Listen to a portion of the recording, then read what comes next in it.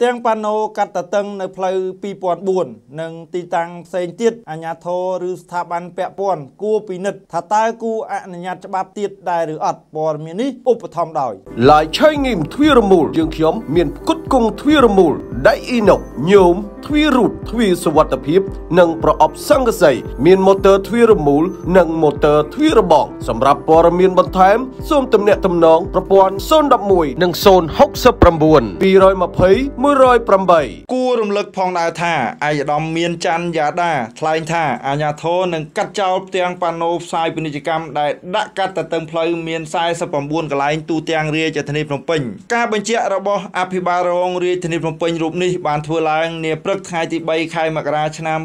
2017ក្នុងចំនួនរវាងតំណាងក្រុមហ៊ុនផ្សាយពាណិជ្ជកម្មជាច្រើននៅសាលារាជធានីភ្នំពេញលោកអភិបាលរងបញ្ជាក់ថារបាពាណិជ្ជកម្មដាក់កាត់ទៅទាំងផ្លូវគឺមាន49កន្លែង ហើយដោយឡែកចំពោះផ្ទាំងប៉ាណូស្លាកយីហោនាឡិកាប្រអប់ភ្លើង បង្គោលភ្លើង ដែលដាក់តាំងនៅគ្រប់កន្លែងក្នុងក្រុង មានចំនួន3644កន្លែងសូមបញ្ជាក់ថាការចេញសេចក្តីសម្រេចកាត់ផ្ទាំងផ្សាយប៉ាណូដែលដាក់កាត់ទៅទាំងផ្លូវនេះបានកើតឡើងក្រោយពីមានការរិះគន់ពីមជ្ឈដ្ឋានជាច្រើនថាការដាក់បែបនេះអាចបង្កគ្រោះថ្នាក់ដល់អ្នកធ្វើដំណើរតាមដងផ្លូវដែលឆ្លងកាត់និង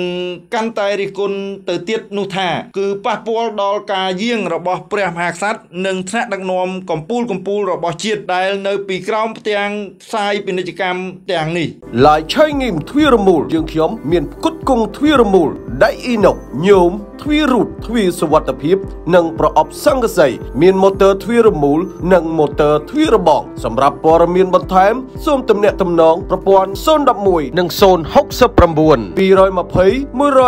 220 108